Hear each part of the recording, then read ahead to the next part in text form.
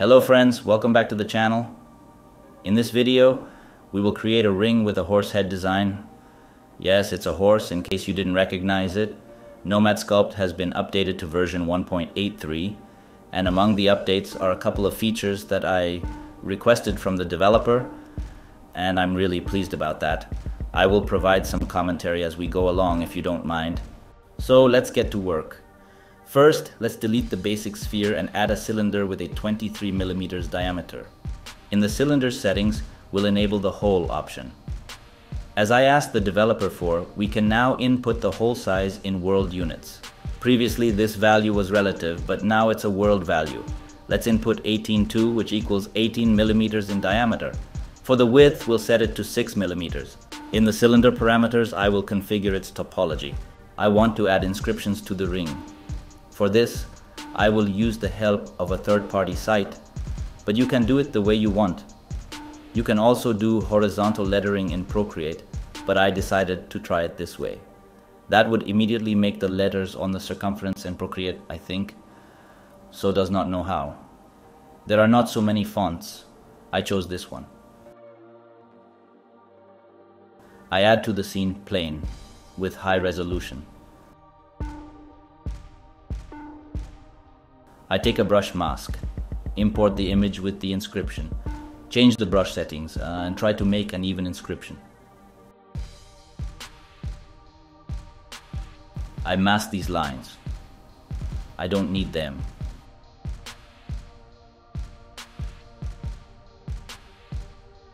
Next, you need to make an extract for the inscription. And here is another thing I asked for. It is the thickness of the extract. Now it corresponds to the world values, which means that the value 0.8 is really the thickness I need and not the ratio as it was before.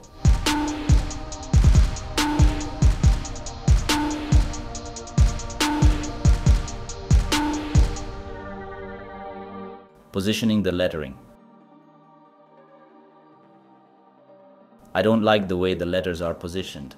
I separate them by clicking separate. Now I can position them individually.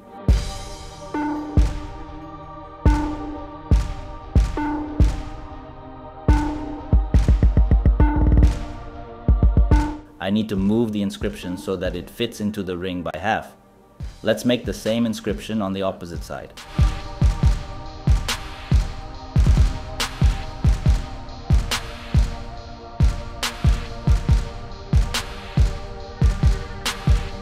I don't like the width, so I decided to make the ring wider.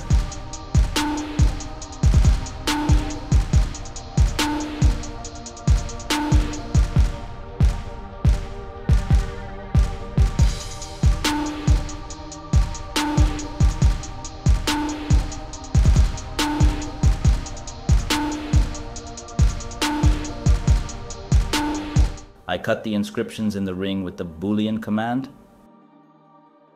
Great, I like it. I add a cylinder with a hole and adjust its parameters. With this cylinder I can cut grooves with a depth of about 0.4 millimeters.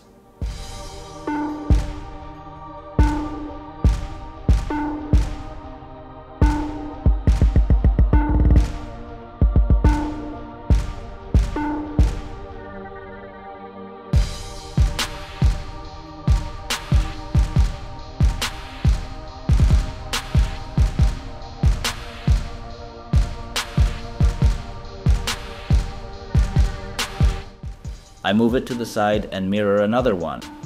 There will be two grooves in the center. At this point I clone the ring. I cut with the boolean command, then using tube I make a tread pattern.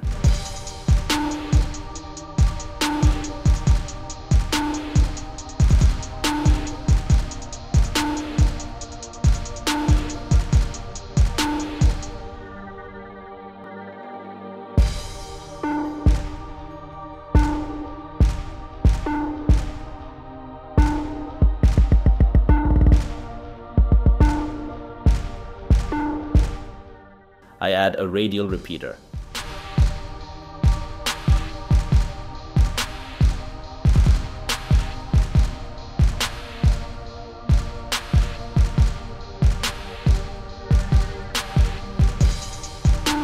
Make sure that the width of the groove was not less than 0.2 millimeters.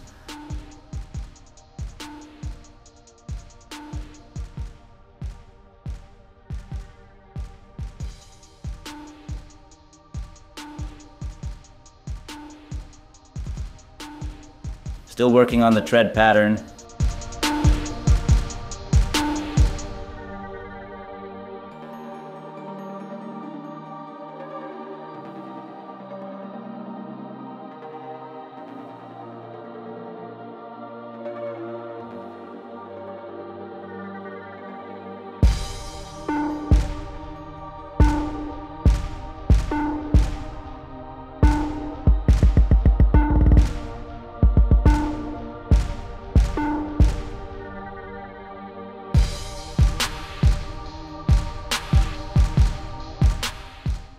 I mirror the other side. Cut grooves in the ring with the boolean command.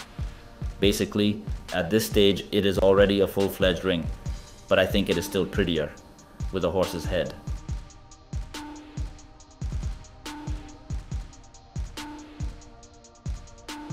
On the ring we cloned earlier, I used the mask to start wishing for a horse's head. There will be fewer comments further down the line. Basically, I'm just trying to make a horse's head I've never made a horse before and at first it looks funny and ridiculous.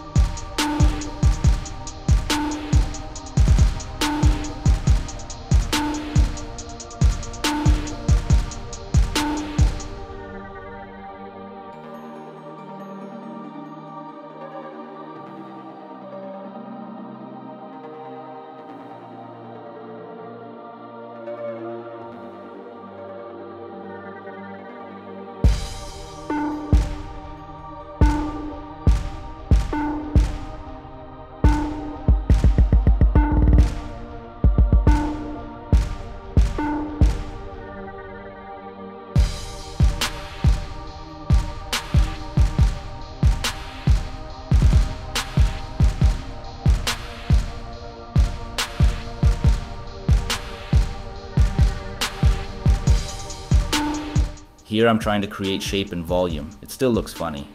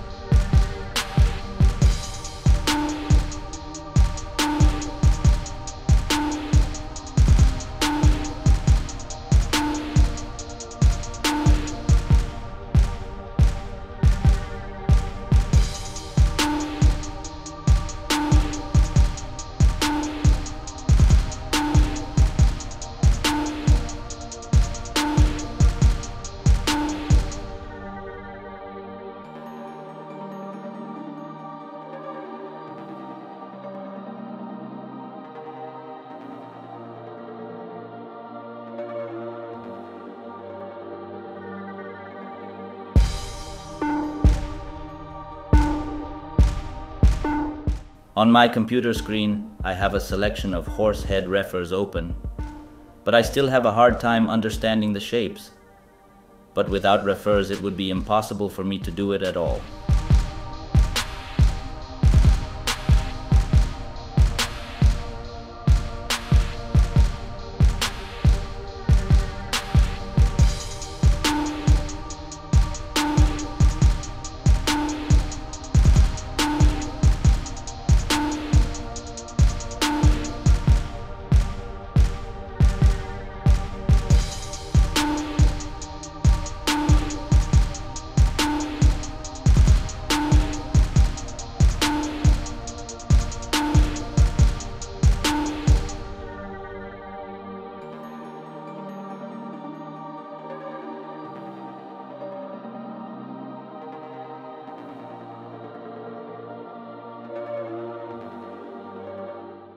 At this point, I decided to work on the horse's mane and take my mind off the head a bit.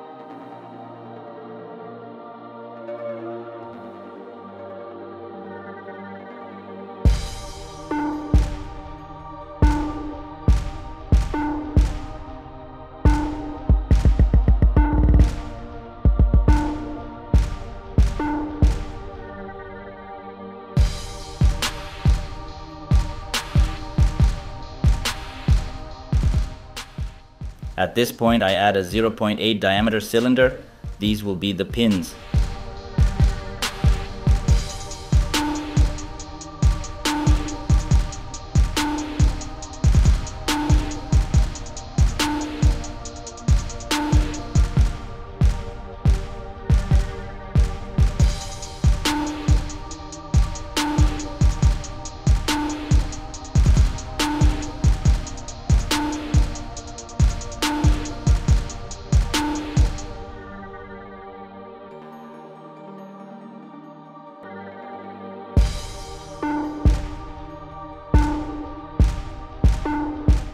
The ring is ready. Next, I'm customizing the render.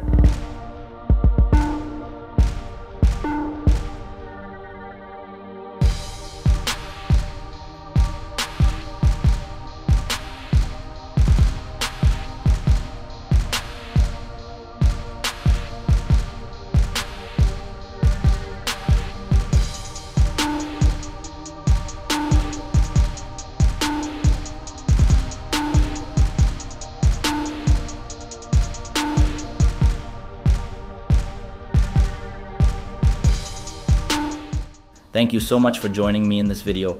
I hope you found it helpful and inspiring.